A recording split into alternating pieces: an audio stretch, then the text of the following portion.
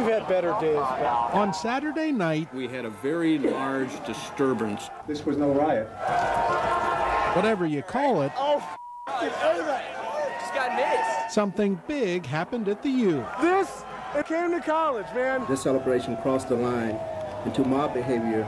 Today, both the university. From my perspective, I think uh, our officers uh, acted admirably. And police responded to what happened.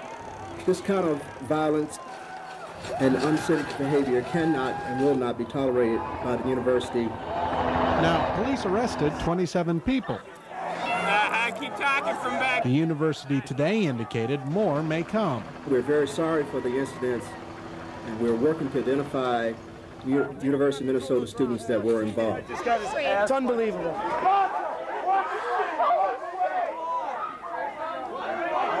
Some question the way officers acted. Police brutality. Because they just sat there and hit him. Here's the police chief's two cents.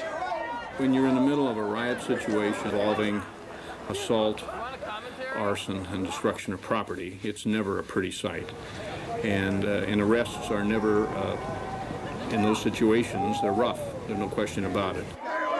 Some camo 40.